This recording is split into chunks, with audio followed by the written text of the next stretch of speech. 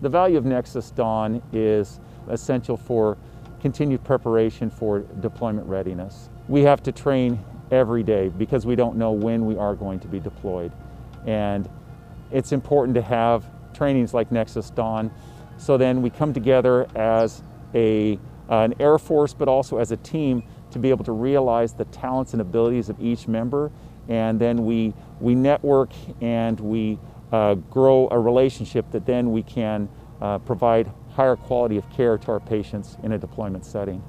I'm proud to say that our unit, here our unit members have stood out. We're one of the few people here that are uh, trained to both drive the Humvee, the Ambus, and also driving the flatline.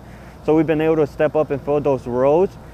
And also uh, we've been able to show off our skills that we constantly train back at our unit, um, both patient movement or patient staging or whatnot.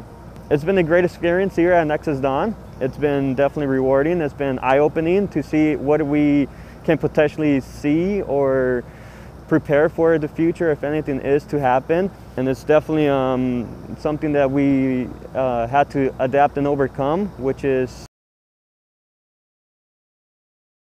so it's definitely been rewarding. The most memorable experience is, you know, meeting individuals from different bases and the the experiences that they bring, but then also the different perspective.